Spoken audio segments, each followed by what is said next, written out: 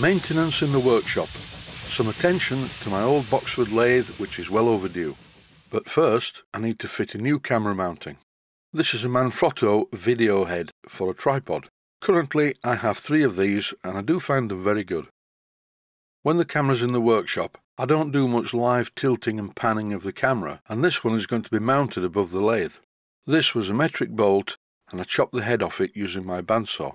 Then I turned and threaded the other end 3 8 Whitworth. Once I tightened it in place, it's ready to go.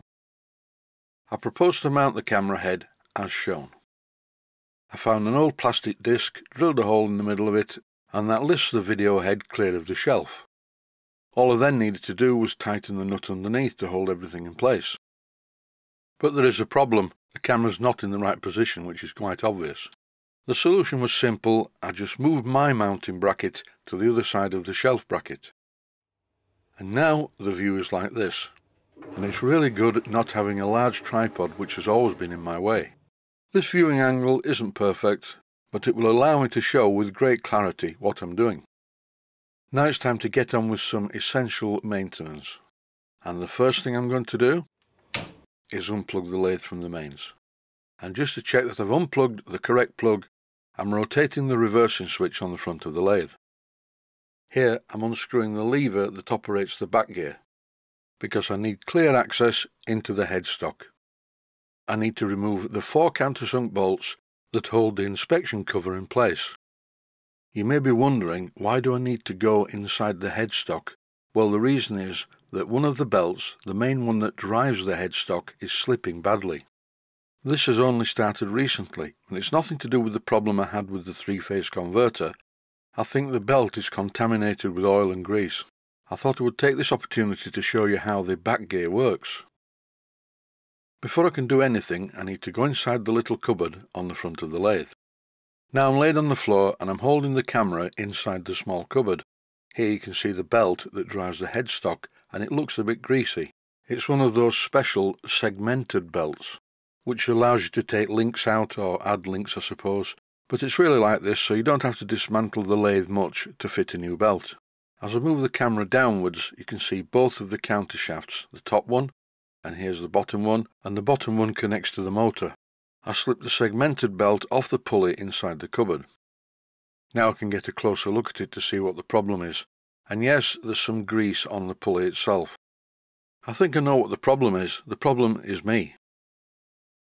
When I was fixing the three-phase converter I repacked the lubricating cups on the front of the headstock with some new grease, and I think I packed the cups too many times. Once is sufficient, three times is excessive. And some of the grease has found its way onto this pulley. Solution, I need to clean it off. First of all, I wiped the belt with a cloth. You can't see this because it was impossible to video it. It involved me laying on the floor again with my arms up inside the cupboard with a cloth to wipe the belt.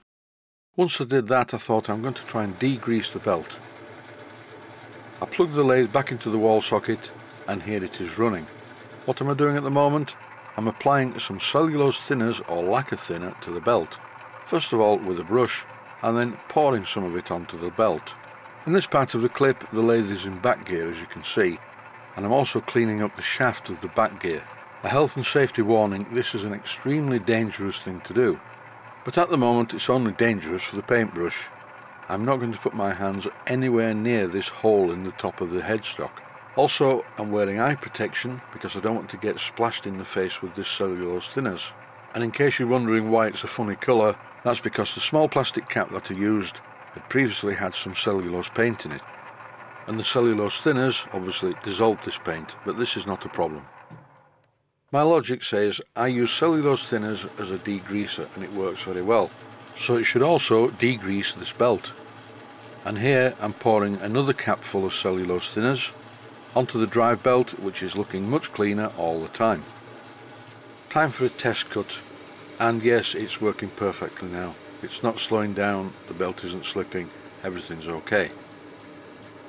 Another health and safety warning, I opened the doors and windows in the workshop because the smell of cellulose thinners now is quite strong.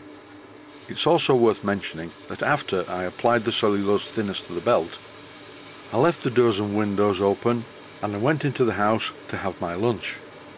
After I got back there was a faint smell but nothing too strong. By this time I'd replaced the top cover in the headstock because I don't want any swarf to get in there. And as you can see, look at the depth of cut. There's no faking here, this is a very deep cut for a small, light duty 5 inch centre height lathe. As I mentioned before, I really would like a bigger lathe, but the purpose of the tutorials is to show beginners how to do things. And this old Boxford lathe works quite well. I have to think outside the box sometimes as to the way I manufacture parts, especially the larger parts as they don't fit in the chuck very well. It's not helped by the fact that I don't have any outside jaws for this chuck. So I really think it's time that I bought a larger chuck for this Boxford lathe. I'll do that shortly. I think I can say with confidence that I've fixed the slippery belt. So now I'll be able to get on and remake this component. It's a piston from a steam locomotive. That's it for this episode. Thanks for watching and I hope you found it useful. Please take the time to visit my Mainsteam Models website. Click on the section of the website that says Video Playlists. And by doing that you will find it very easy to find other videos that you may like to watch.